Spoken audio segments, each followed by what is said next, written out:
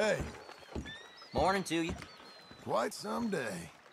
Eh, fair enough, I suppose. Don't think about taking off any items of clothing now. You're gonna get your skull cracked in, talk?